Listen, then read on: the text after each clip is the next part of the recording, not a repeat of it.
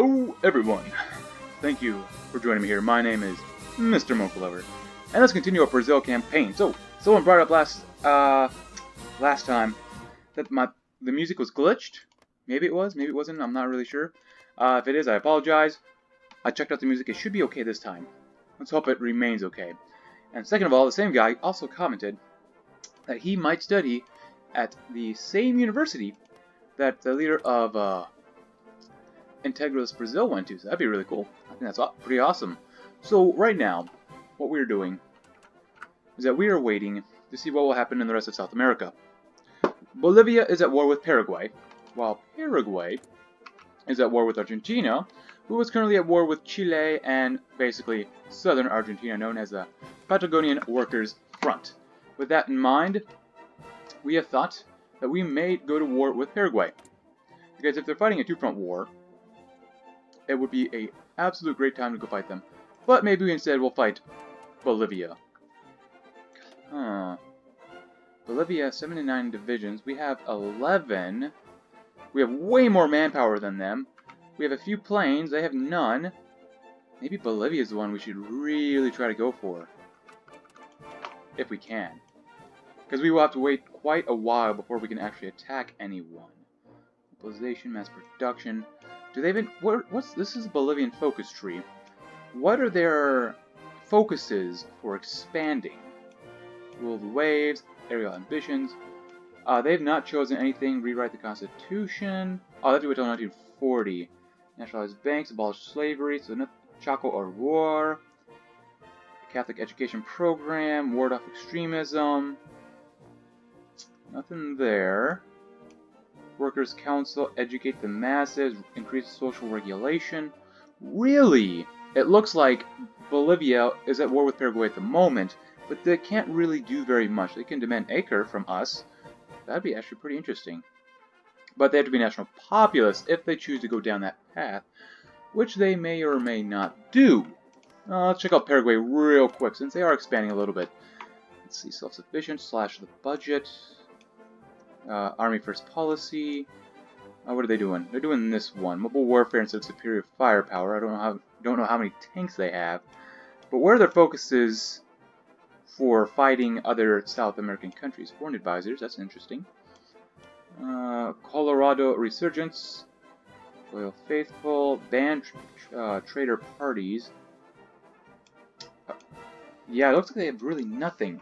Honestly, it might be best just to go fight Bolivia because they are technically larger than Paraguay. If I don't take them out now, they might just get larger. And Paraguay is already pretty small that we can probably take them out anyways. Hmm. And that'll get us closer to Chile and kind of extend the front if we have to fight the Syndicalists if they win in Argentina. And Bolivia is only at war with Paraguay, which they'll probably win the war with them. So let's go try that out. It takes 270 days to do that. And if I can get them as a puppet, instead of Paraguay, that'll be actually quite a bit stronger, since Paraguay only has 5 to 9 divisions. That's actually not too bad.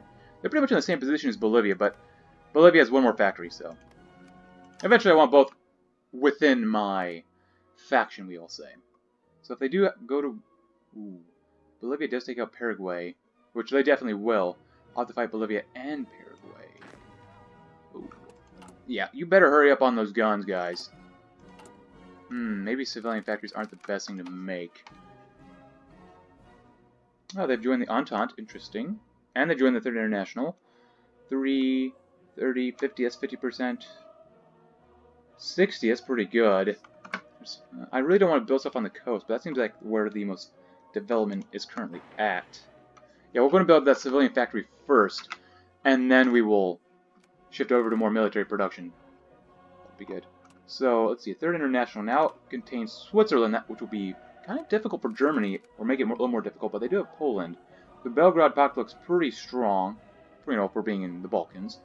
The Reichspakt has Morocco, the Ottoman Empire is getting torn up by the Cairo Pact in Iran, and, of course, the United States is in a three-way fight with the American Union State. Looks like they're losing because they cannot get any more boys. And the Russian state declared war on Alash Orda. That's pretty much expected. Yeah, looks like the CSA may win or the United States will. Uh, man, I was playing my other game. But, oh, oh, oh, oh! What is this? Empire Brazil.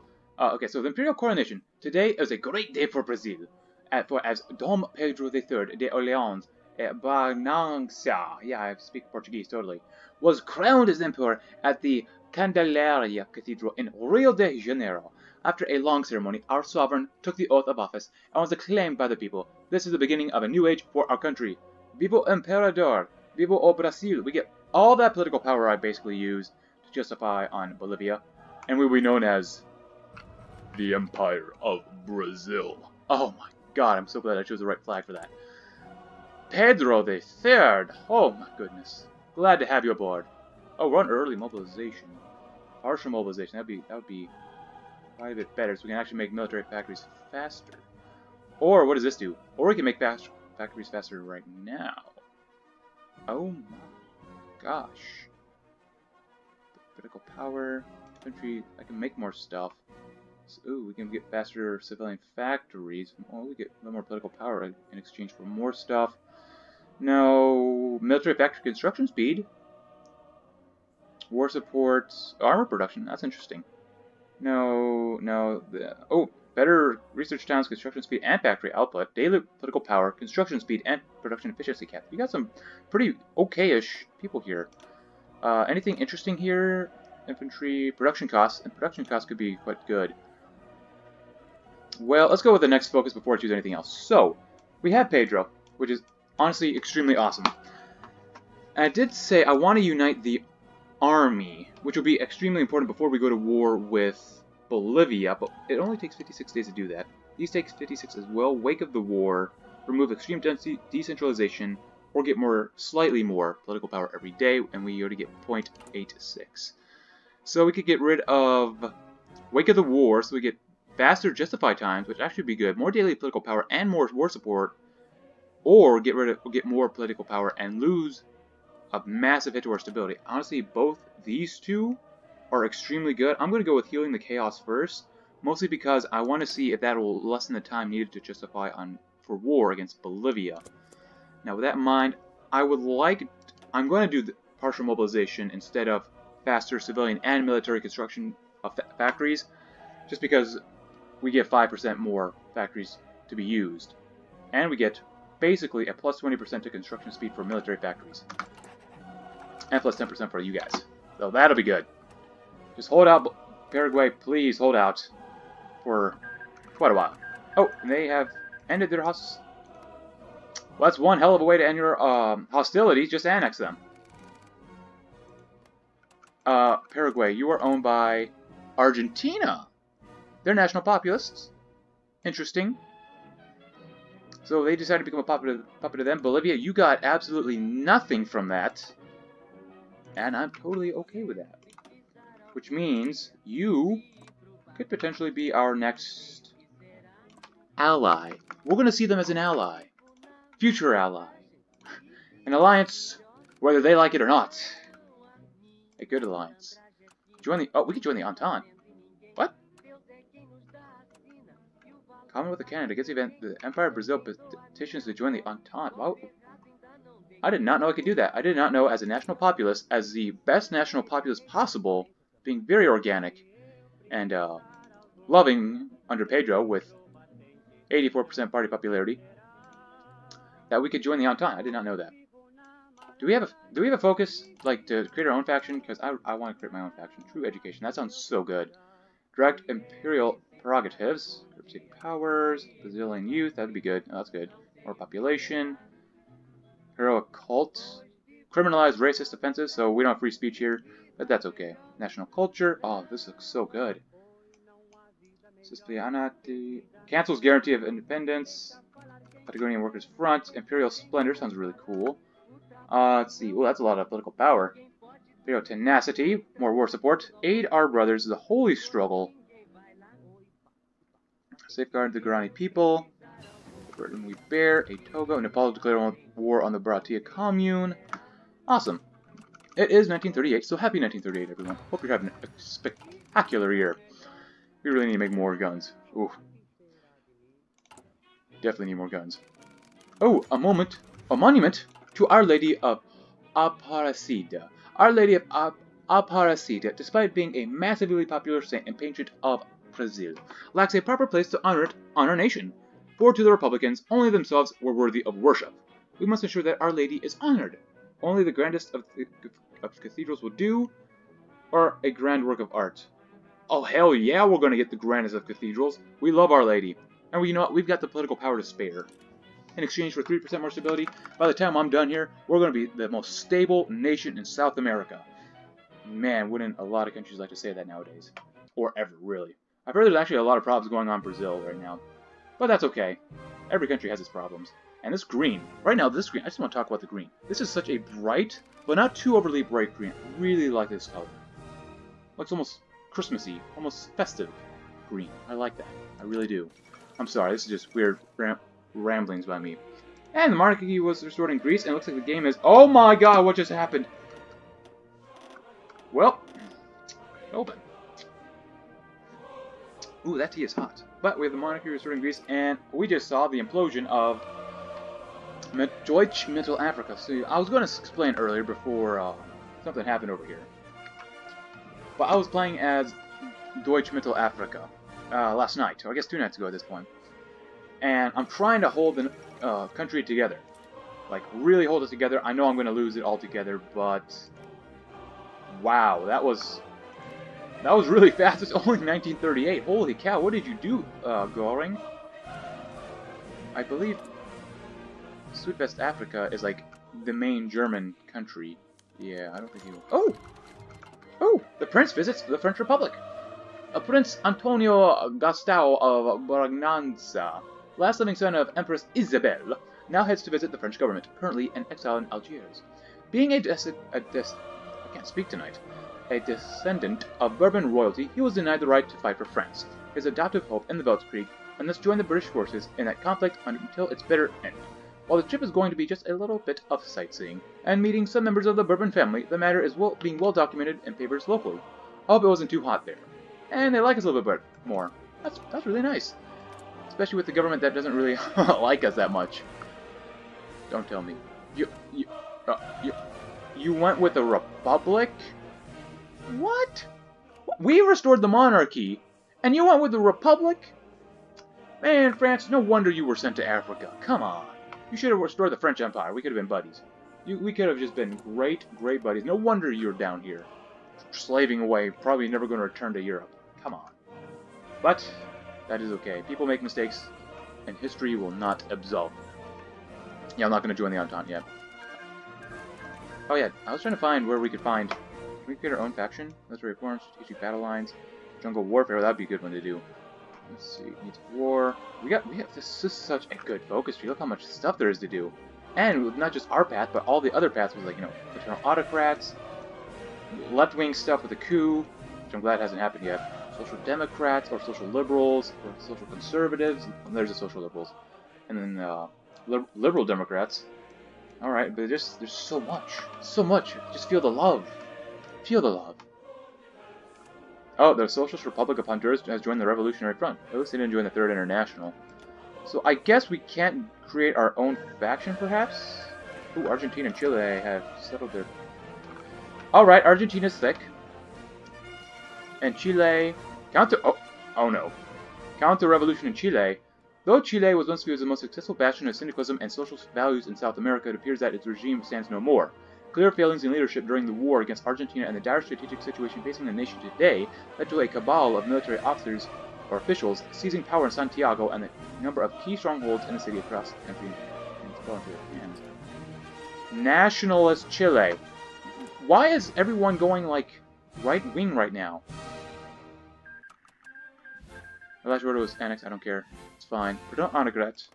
You're a national populist. I'm national populist. We kind of, we actually like them quite a bit. They supported us, and we have the same ideology. Reintegrate that little southern region of uh, Argentina. The fall of Madrid. Uh-oh. Confederacy to the Plaza. Let's see. What is this? More war support. What does that do?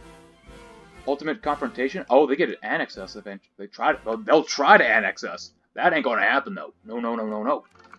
Punish Paraguay. Uruguay is ours. Catholic brothers around the world. Encourage Spanish immigration. I wish I could do that.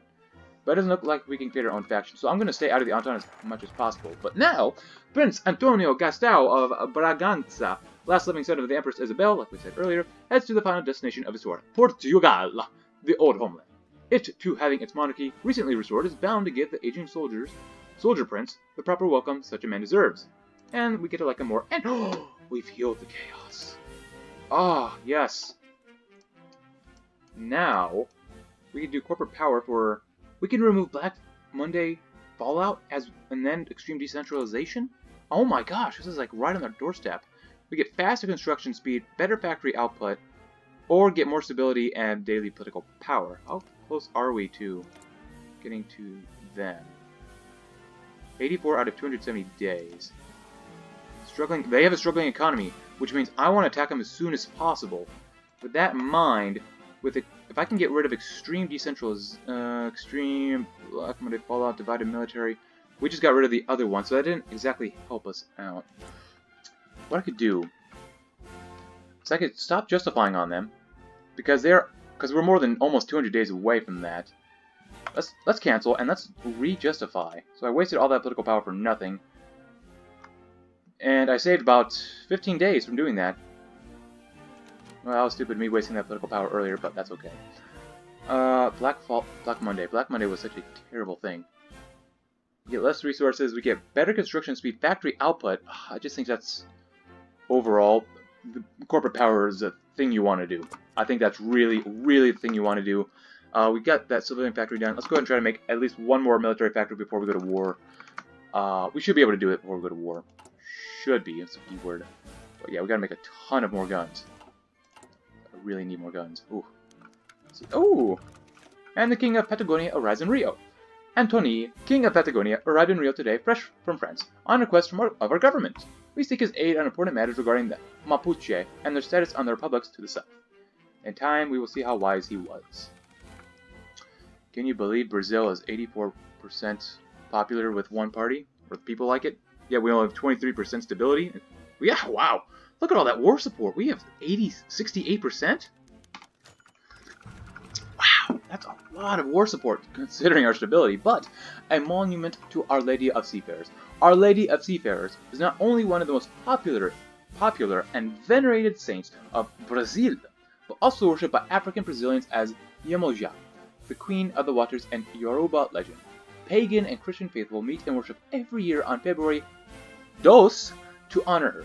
However, she lacks a monument to her faithful worthy uh, to their faithful worthy of her might. We must ensure that Our Lady is honored. Oh, I don't really have the political power for this. But it's a monument to Our Lady of Seafarers, and this will help unite the nation. Which means it's actually going to take a little bit longer for us to justify on them, which is fine, which is fine. They're currently in a little bit of turmoil at the moment, so I'm thinking that it, that's okay. And we get 0.93 political power a day, so we'll get it out of that pretty soon. Pretty soon. Especially if we get rid of uh, this block Monday Fallout so we can get more construction speed and factory output. The BZNS6 power um, okay. Oh, they were released by both Romania, looks like, and Serbia, but not by Greece. Oh, look at that stash. Alexander Stamboliyski, a puppet of Serbia, and they're social conservatives. Alright, well, good luck. Russian state declared war on the Turkestan Khanate. Over here. Pretty expected. Bolivia. Yeah, they're struggling. They're, they, that's good. I'm glad to see that. They have just a little bit less divisions than we do. We, they have two military factories. We have five times as many military factories and about almost four times as many civilian factories, and we have way more manpower than them. Fall Beijing. Ooh. Against Japan. That'll be good. I think we should we should be able to fight them off, beat them, and not annex them, but you know, add them to our faction alliance. Republic of El Salvador declared war on Guatemala. Nicaragua declared war on Republic of El Salvador. And it looks like, yeah, the Fengtian government took them out. You're fighting. Oh, you're fighting. Oh, I see. You're fighting Japan. National Populace, eh? Well, that's not good. Yeah, American Union say, oh, okay then. Hawaiian royalty visits Rio de Janeiro. The Hawaiian royal family has come to Rio de Janeiro in order to meet with the Brazilian royal family. They spent their day touring the sites of Rio de Janeiro as well as private meetings with the political leaders of the country. The relations between the Empire of Brazil and the Kingdom of Hawaii have improved because of this visit. Aloha from Brazil. Man, we are just trying to make friends with everyone. Everyone who is anyone wants to come visit Brazil. And Russians declared war on Georgia. Why are we not surprised? And I believe Russia has the Vaz, and they are they like us, so I'm okay with that. And they're helping the Americans win. Oh, and Bulgaria did not want to be a puppet under Serbia, but they're going to get crushed. Oh, what, what, wait, wait. Okay, so I said that thinking that Romania and Serbia were allied. But now Bulgaria is fighting Serbia, but Serbia is fighting both of them. Wow! So, who, why? What? Romania is going to help the Serbian puppet who's rebelling against Serb Serbs. You know, the truth is stranger than fiction. So apparently, pro-Slavic government under the Prime Minister Alexander... Oh, they ended their hostilities. So, Boris, you're back! Are you fighting Romania? You're still fighting Romania. Uh, that's interesting. Yeah, that's how many divisions they have. Manpower. Oh, that's a lot more manpower and quite a few more divisions. Have threat. Now that's interesting. And the Republic of El Salvador was annexed. Or El Salvador. Oh well. Maybe we'll have to fight them someday. Oh, and they came back. Salvadorian Commune. Oops. Oh, and they're fighting Guatemala still or something? Yeah, they're fighting Guatemala. Guatemala's fighting all, all three of these. Oh, Zambia was... Oh, Zambia was in... Zambia, not Zambia. Zambia. Nambiland. Oh, look. Oh, Africa. Always in a perpetual state of civil war. What's that country? Barotseland. Alright, well, whatever. We should be done with our focus pretty soon. And we do have a little bit of political power, so that's kind of nice. Right. Time for another sip of cup. Not coffee. Tea.